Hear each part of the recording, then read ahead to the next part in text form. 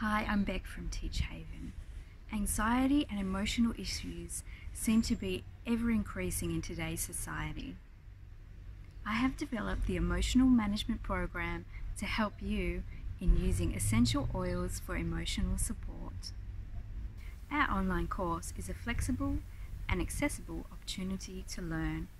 It includes a guidebook you can download or print, learning videos, and downloadable guided meditations that can be used for relaxation. Research shows that smell is the quickest way to change mood and behaviour. Let me show you how to use essential oils in this way through our online program.